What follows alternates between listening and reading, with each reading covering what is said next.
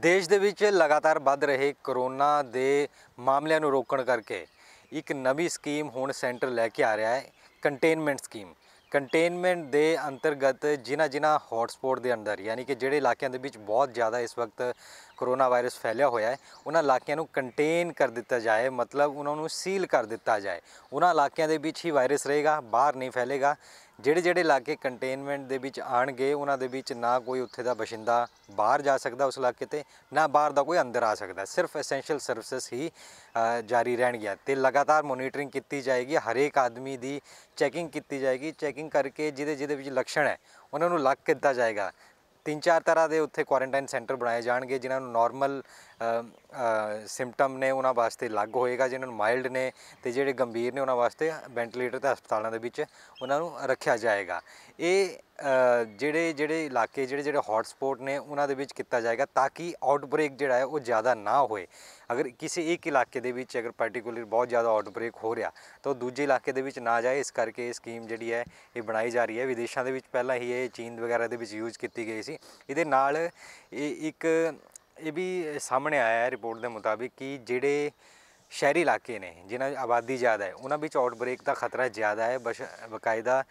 ਜਿਹੜਾ ਗ੍ਰਾਮੀਣ ਇਲਾਕਾ ਹੈ, ਉਹਨਾਂ ਦੇ ਵਿੱਚ ਜਿਹੜੇ ਖੁੱਲੇ ਇਲਾਕੇ ਨੇ, ਆਊਟਬ੍ਰੇਕ ਦਾ ਖਤਰਾ ਘੱਟ ਹੈ। ਤੇ ਇਹਨੂੰ ਲੈ ਕੇ ਲਗਾਤਾਰ ਇੱਕ ਡਾਟਾ ਜਿਹੜਾ ਬਣਾਇਆ ਜਾ ਰਿਹਾ ਹੈ ਜਿਹੜੇ ਜਿਹੜੇ ਇਲਾਕੇ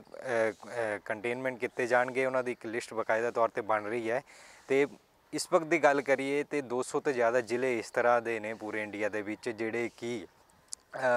ਅਫੈਕਟਡ ਨੇ ਇਸ ਪੂਰੇ ਮਾਮਲੇ ਦੇ ਨਾਲ ਕਰੋਨਾ ਦੇ ਨਾਲ। ਤਾਂ ਹੋ ਸਕਦਾ ਕਿ ਉਹਨਾਂ ਨੂੰ ਕੰਟੇਨ ਕੀਤਾ ਜਾਏ ਤੇ ਬਾਕੀ ਦੇ ਖੋਲ ਦਿੱਤੇ ਜਾਣ, ਕਿਉਂਕਿ ਲੋਕਡਾਊਨ ਵੀ, ਜਦੋਂ ਸਰਕਾਰਾਂ ਨੇ ਕਿਹਾ ਕਿ ਲੋਕਡਾਊਨ ਖੋਲਣਾ ਹੈ, ਪਰ ਬੜੋ, ਬਹੁਤ ਹੀ ਸਲੋਲੀ ਸਪੀਡ ਤੇ ਸਟੈਪ ਬਾਏ ਸਟੈਪ ਖੋਲ੍ਹਿਆ ਜਾਏਗਾ। ਤੇ ਇਹ ਮੰਨਿਆ ਜਾ ਰਿਹਾ ਕਿ ਕੰਟੇਨਮੈਂਟ ਵੀ ਉਸੇ ਦੇ ਅੰਤਰਗਤ ਆਏਗਾ ਕਿ ਜਦੋਂ ਜਿਸ ਇਲਾਕੇ ਦੇ ਵਿੱਚ ਜ਼ਿਆਦਾ ਆਊਟਬ੍ਰੇਕ ਹੈ ਉਹਨੂੰ ਸੀਲ ਕਰ ਦਿੱਤਾ ਜਾਏ ਤੇ ਬਾਕੀ ਜਿਹਦੇ ਵਿੱਚ ਨਹੀਂ ਹੈ, ਉਹਨੂੰ ਖੋਲ ਦਿੱਤਾ ਜਾਏ। ਇਹ ਹਾਲਾਂਕਿ ਹਾਲੇ ਤੱਕ ਇਹਦੇ ਵਿੱਚ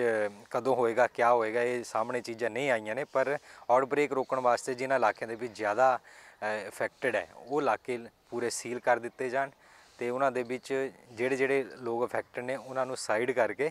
ਠੀਕ ਕਰਕੇ ਜਦੋਂ ਸਾਰਾ ਠੀਕ ਹੋ ਜਾਏਗਾ। ਇਹਦੇ ਵਿੱਚ ਇੱਕ ਗੱਲ ਜ਼ਰੂਰ ਦੇਖਣ ਵਾਲੀ ਹੈ ਕਿ ਜਦੋਂ ਲਾਸਟ 네ਗੇਟਿਵ ਕੇਸ ਹੋ ਜਾਏਗਾ, ਮੰਨ ਲਓ ਕਿ ਅੱਜ ਸਾਰਿਆਂ ਦੇ ਟੈਸਟ ਲੈ ਲਏ, ਕੋਈ ਮਰੀਜ਼ ਨਹੀਂ ਆ ਰਿਹਾ, ਤਾਂ ਉਸ ਤੇ 2 ਹਫ਼ਤੇ ਤੋਂ ਬਾਅਦ ਹੀ ਉਹਨੂੰ ਖੋਲਣ ਤੇ ਵਿਚਾਰ ਕੀਤਾ ਜਾਏਗਾ 2 ਹਫ਼ਤੇ ਤੱਕ ਪੂਰਾ ਦੇਖਿਆ ਜਾਏਗਾ ਕਿ ਹੋਰ ਕੋਈ ਮਰੀਜ਼ ਤਾਂ ਨਹੀਂ ਆ ਰਿਹਾ, ਜਦੋਂ ਲੱਗੇਗਾ ਕਿ ਕੋਈ ਮਰੀਜ਼ ਨਹੀਂ ਆ ਰਿਹਾ, ਫਿਰ ਉਹ ਸਾਰਾ ਕੰਟੇਨਮੈਂਟ ਦਾ ਇਲਾਕਾ ਖੋਲ ਦਿੱਤਾ ਜਾਏਗਾ। ਰਿਪੋਰਟ ਜਿਹੜੀ ਹੈ, ਕਾਫੀ ਪੰਨਿਆਂ ਦੀ ਲੰਬੀ ਇੱਕ ਰਿਪੋਰਟ